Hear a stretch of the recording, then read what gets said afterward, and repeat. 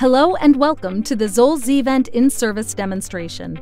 This multiple-part series will provide detailed information about the Z-Vent portable critical care ventilator and its functionality. In this module, we will review how to connect the power and SpO2 cables. On the top of the device is the external power connector, located under the rubber cap notated by the solid and dashed line.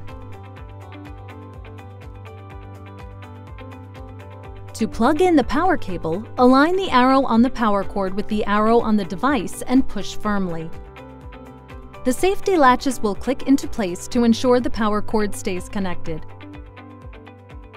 To remove the power cable, pinch the lower half of the connector towards the top half to release the safety latches. Then, pull the power cord to unplug the device.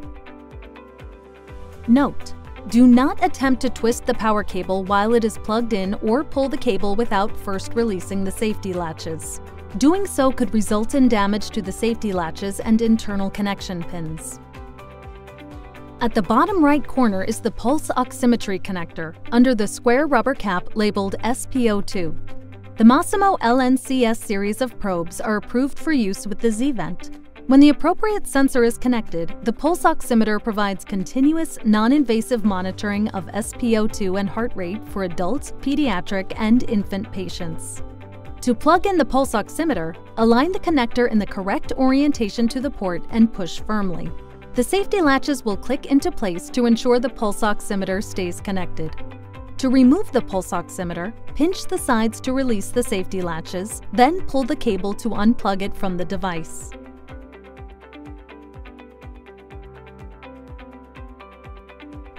SpO2 pulse oximetry monitoring is on standby by default. Press the Accept button to select pulse oximeter. Use the dial to change the setting from standby to on and press the accept button again to confirm the change.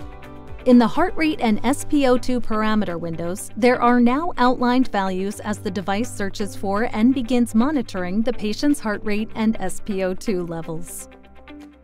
Before use, carefully read the Masimo LNCS sensor directions. Use only Masimo oximetry sensors for SpO2 measurements with the Z-Vent. Other oxygen sensors may cause improper performance.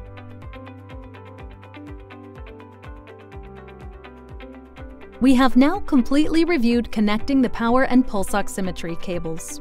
Throughout the other modules, we will continue to explore the device's functionality and how to prepare the ventilator for use.